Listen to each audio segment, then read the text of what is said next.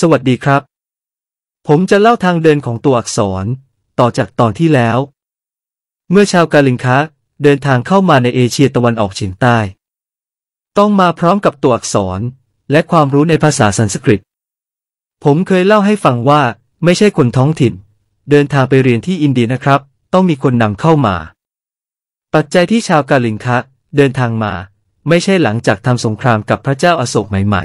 ๆ เพราะระยะนั้น ชาวกาลิงคะจะเดินทางลงมาทางใต้ หลังสงคราม 300 ปี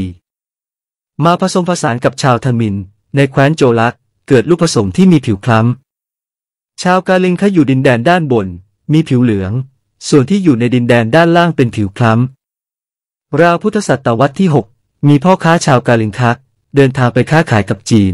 ผ่านมาถึงเมืองออกแอล ทางใต้ของเวียดนาม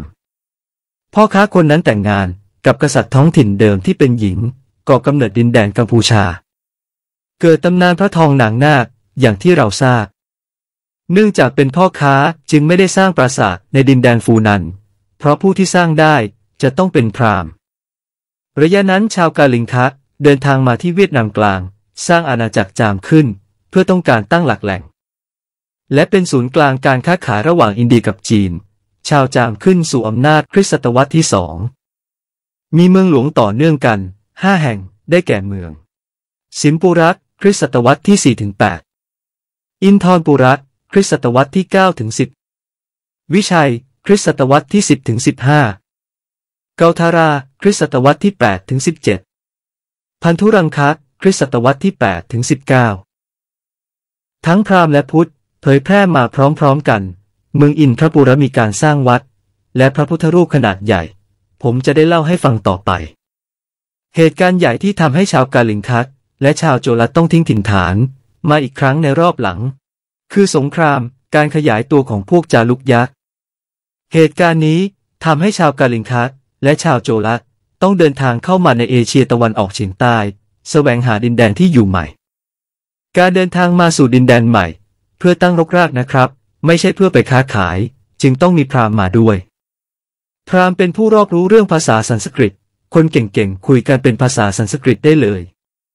ถ้าไปค้าขายอย่างเดียว ไม่จำเป็นต้องมีพราหมณ์เดินทางไปด้วยครับ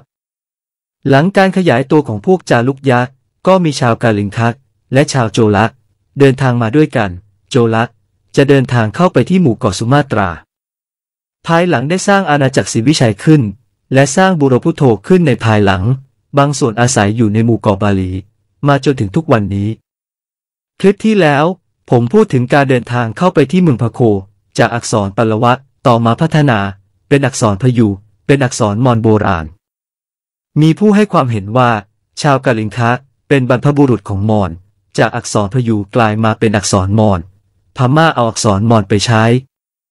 จากอักษรมอญพัฒนามาเป็นอักษรล้านนา และเป็นอักษรทำลาว หมายถึงอักษรนะครับ ไม่ได้พูดถึงภาษาที่พูด ชาวกาลิงคะส่วนหนึ่งเข้ามาทางอ่าวไทย สมัยก่อนเรียกว่าอ่าวสยาม ทำไมถึงไม่ไปสุมาตรา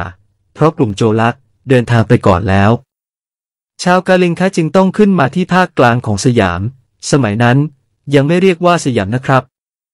พุทธศตวรรษที่ 11 เมืองบริเวณรอบอ่าวไทยแผ่นดินยังอยู่ใต้น้ำนครปฐมจึงเป็นเมืองท่า การเคลื่อนที่ไปอยู่เพชรบูรณ์ เพราะอยู่ใกล้อีสาน ที่อีสานมีสมบัติอยู่ใต้พื้นดิน มีค่าอย่างมากมายมหาศาล สิ่งนั้นคือเกลือ เกลือเป็นทรัพยากรสำคัญ สงครามแย่งเกลือเคยมีมาแล้ว อีกอย่าง อีสานเป็นแหล่งที่มีแร่เหล็กมาก มีความรู้ในการถลุงเหล็ก เพชรบูรณ์เป็นที่สูง เป็นศูนย์กลางของภูมิภาค สามารถติดต่อกับจีน ลาว เวียดนามได้สะดวก ชาวกาลิงคัสจึงต้องมุ่งหน้าสู่เพชรบูรณ์ และสร้างเขาคลังนอกขึ้นมา โดยสร้างตามแบบอย่างเมืองทวารากา ที่มีฐานเป็นรูปสี่เหลี่ยม จึงถือว่าเป็นที่ตั้งของเมืองในอาณาจักรทวารวดียังไม่ต้องสงสัย การพบรูปหล่อพระกฤษณักรูปหล่อสุริยเทพ และรูปหล่ออื่นๆ มากมาย แสดงว่าเขาคลังนอกเป็นศูนย์กลางอาณาจักรทวารวดีจริง ๆ ชาวกาลิงคะกับชาวพื้นเมืองแต่งงานอยู่กินด้วยกันจารึกรุ่นหลังๆ จึงมีภาษาสันสกฤต ผสมปะปน กับภาษาท้องถิ่น คือภาษาขอม ชาวกาลิงคะที่อยู่ภาคกลาง จะนำภาษาและอักษรปลวัตมาใช้เล่าเรื่องชาวบ้านก็ไม่ได้ เพราะสันสกฤตเป็นภาษาและอักษรที่ใช้กับเทพ จึงค่อยพัฒนาตัวอักษรขึ้นมาใหม่ เพื่อใช้เขียนคำทั่วๆไป ที่เป็นภาษาชาวบ้าน เกิดอักษรใหม่ขึ้นมาในดินแดนภาคกลาง และภาคอีสานของไทย เรียกว่าอักษรขอม อักษรขอมพบในภาคกลางและภาคอีสาน ไม่พบอักษรนี้ในภาคเหนือ จากจังหวัดสุโขทัยขึ้นไป และไม่พบในภาคใต้ แสดงว่าภาคอีสานผู้ภาษาขอมในชีวิตประจำวัน ภาษาขอมนำไปใช้ในละโวภายหลังเพราะก่อนหน้านี้ละโวพูดภาษามอญสมัยฟูนันประชาชนในดินแดนฟูนันยังไม่ได้พูดภาษาขอม เพราะส่วนใหญ่เป็นพวกจาม และแรงงานจากตอนเหนือของอินโดนีเซีย พูดภาษามาลาโยโพลินีเชียน สมัยพระเจ้ารุทราวรมังที่หนึ่งไม่มีข้อมูลว่าพูดภาษาอะไร แต่ที่แน่ ๆ คือ แรงงานทาสในดินแดนแถบนี้ เริ่มพูดภาษาขอมซึ่งเป็นภาษาของนายทาส ตั้งแต่สมัยพระเจ้าสรุตวรมัมราพุทธศักราช 1093 เป็นต้นไป ภาษาที่ใช้คือภาษาขอมและใช้ภาษานี้เรื่อยมาจนถึงปัจจุบัน นับถึง พุทธศักราช 2567 รวม 1,474 ปี หรือประมาณว่า 1,500 ปี แรงงานทาสต้องพูดภาษาในทาสคือภาษาขอมพูดมา 1,500 ปี จนปัจจุบันคิดว่าเป็นภาษาของตนเอง ผมพูดมาถึงตรงนี้คงจะมีทัวลงพอสมควร